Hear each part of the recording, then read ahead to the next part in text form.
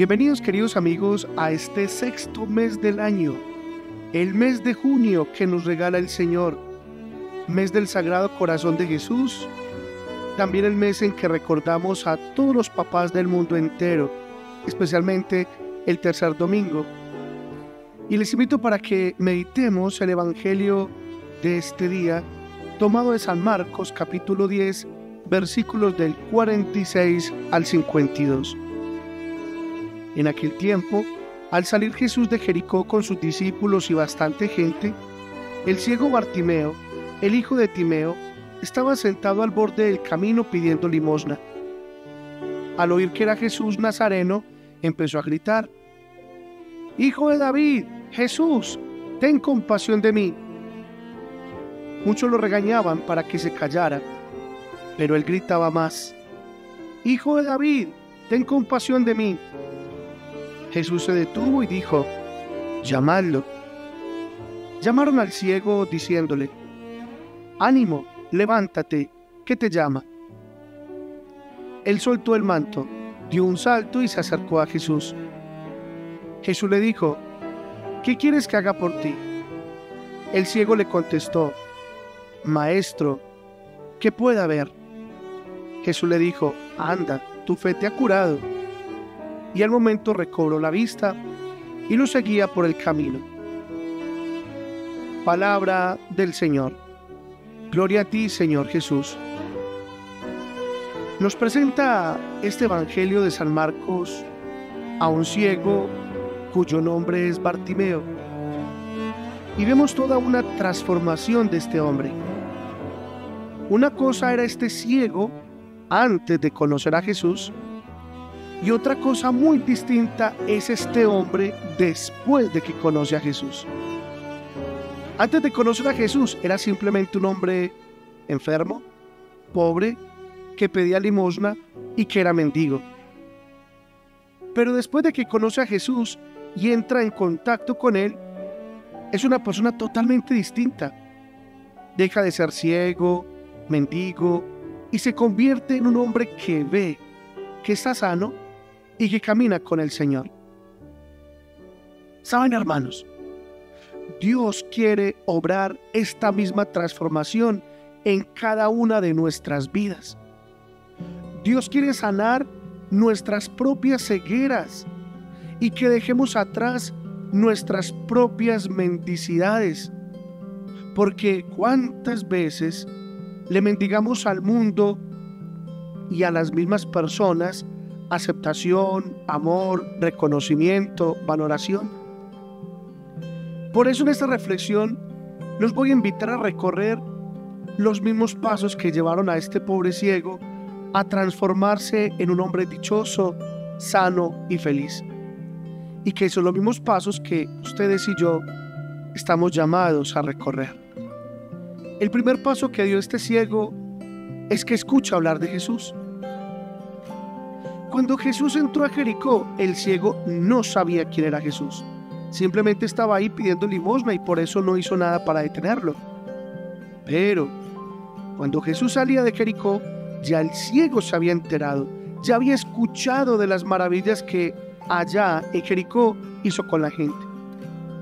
Él había escuchado que Jesús curaba leprosos, sanaba paralíticos y que también sanaba ciegos el ciego escuchó hablar de Jesús. Por eso este es el primer paso que toda persona debe de dar, escuchar de Jesús. Pensemos hermanos, ¿ya escuchamos? ¿Ya nos enteramos de las maravillas que Jesús está haciendo en favor de los hombres? ¿O qué es lo que nos aturde, qué nos ensordece? Dios quiere hacer maravillas en el Jericó de nuestra alma, en el Jericó de nuestro corazón, en el Jericó de nuestro hogar, en el Jericó de nuestra familia. La pregunta es, ¿le vamos a permitir a Jesús que haga maravillas en nosotros o lo vamos a dejar marchar? Por tanto, el primer paso es escuchar hablar de Jesús. Si ya lo hemos dado, vamos al siguiente paso. Segundo paso, el ciego no se conforma con escuchar hablar de Jesús, sino que lo llama, no lo deja marchar. El ciego pensó para sí, ¿Jesús se va a ir de la ciudad y a mí me va a dejar ciego? Escuché que a otros curó y yo me voy a quedar así. Oí que otros recuperaron las ganas de vivir, las ganas de luchar, y yo me voy a quedar aquí ciego, triste y afligido. No. El ciego llama a Jesús y le dice, Jesús, hijo de David, ten compasión de mí. El ciego gritó y gritó y no dejó que Jesús se marchara. El ciego pensó para sí, mi única oportunidad para ser sanado puede ser esta. Si dejo ir a Jesús, desdichado yo por perder la oportunidad.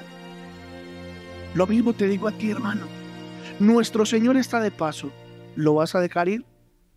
¿Has escuchado que a muchos hogares Él ha restaurado y tú lo vas a dejar marchar sabiendo que tu hogar necesita lo mismo?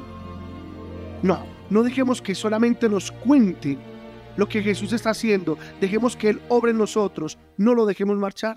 Digámosle a Jesús, Señor, todavía te falta un ciego más. Aquí te falto yo. Tercer paso. Un paso difícil. Porque cuando el ciego gritó, un grupo de personas le pidió que se callara, que hiciera silencio. Ese grupo de personas iba con el Señor. Es un paso realmente difícil porque mucha gente llega hasta aquí con muchos ánimos, con mucho entusiasmo, hasta que llegan las pruebas. Y las pruebas los pueden hacer desanimar sin haber alcanzado nada. Porque todavía no ha sucedido el encuentro entre el ciego y Jesús. Apenas el ciego llamó a Jesús.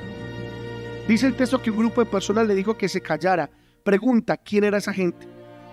Gente que estaba ahí, probablemente que estaba siguiendo al Señor. Sin embargo, ¿qué hizo el ciego? Se hizo el sordo. Pues hermanos, eso mismo hay que hacer ante las dificultades. Pruebas siempre vamos a encontrar. Personas que nos van a desanimar van a aparecer. Las vamos a encontrar en nuestra comunidad parroquial, la vamos a encontrar en nuestros grupos, personas que dicen seguir al Señor pero con su testimonio de vida o su manera de ser nos desaniman, nos desmoralizan y pueden hacernos caer la tentación de desanimarnos.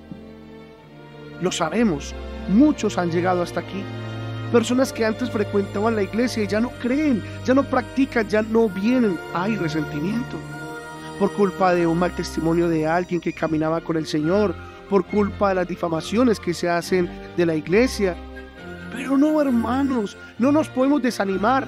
Somos humanos quienes seguimos al Señor y no ángeles, y como humanos nos equivocamos y fallamos. Por eso es excelente imitar la actitud de ese ciego, es decir, hacernos los sordos, no entretenernos en esas dificultades, hay que seguir para adelante y gritar más fuerte al Señor. Si el ciego se hubiera desanimado, se hubiera perdido la oportunidad de encontrarse personalmente con el Señor y de que lo sanara. Y hoy muchos se han ido y lo peor, se fueron enfermos y sin encontrarse con el Señor. Pero el ciego nos enseña a no desanimarnos. ¿Qué hizo el ciego? Pues cuarto paso. No se desanimó, sino que gritó más fuerte. Es decir, el ciego cayó en las dificultades. Hagamos como el ciego, gritemos más fuerte. Es decir, invoquemos con más insistencia al Señor, con perseverancia. Quinto paso, Jesús lo escuchó y lo mandó llamar. Miren hermanos, apenas en el quinto paso Jesús aparece por primera vez. El ciego tuvo que superar pacientemente cuatro pasos anteriores para que Jesús lo escuchara. Por eso es que no nos podemos desanimar. Tenemos que perseverar. Jesús lo escuchó. Claro, al ciego no lo detuvieron, pero el ciego sí detuvo a Jesús. Por eso Jesús dijo, llámenlo. Y entonces empezó otra etapa en la vida de este ciego porque llegaron otras personas que le dijeron, ánimo, te estás llamando, levántate.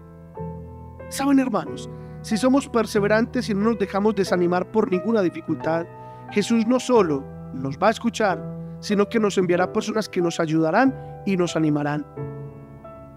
Sexto paso, el ciego se deja conducir por aquellas personas que lo quieren llevar hasta donde está Jesús. Sexto paso, dejarse conducir. Este paso no es fácil, porque mucha gente sí llama al Señor, el Señor los escucha, pero no se dejan conducir. Son llevados de su parecer. El ciego sin ver nada, se deja agarrar de la mano y se deja llevar por aquellas personas que lo quieren llevar hasta donde está Jesús.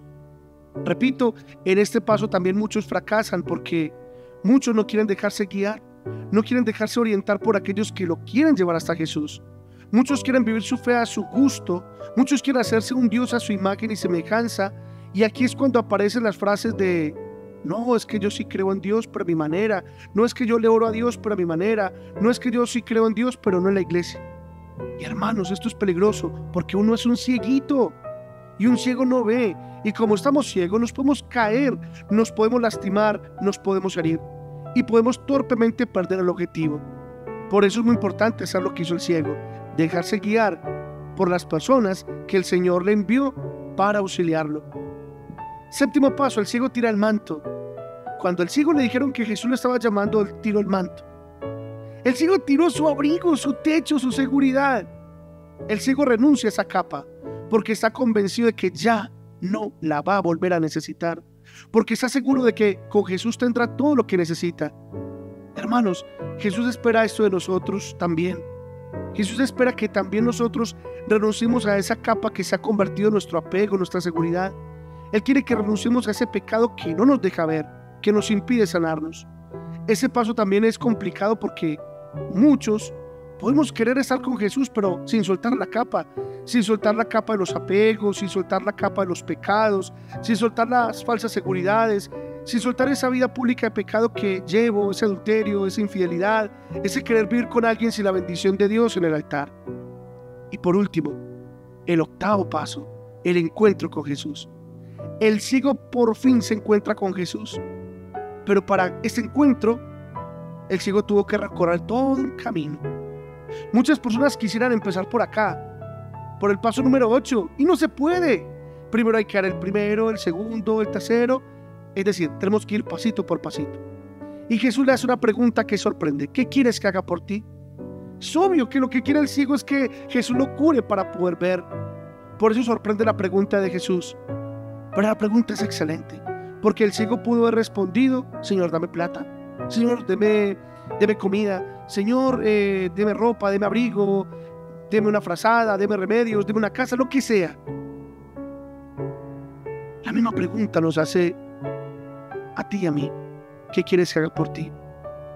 Y no podemos pedir cosas secundarias, tenemos que pedir lo más importante. El ciego pidió ser curado su ceguera. ¿Y nosotros qué le pediremos?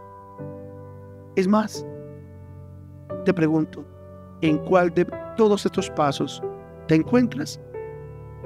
Ánimo a dar el paso siguiente. Que el Señor nos bendiga a todos en el nombre del Padre y del Hijo y del Espíritu Santo. Amén.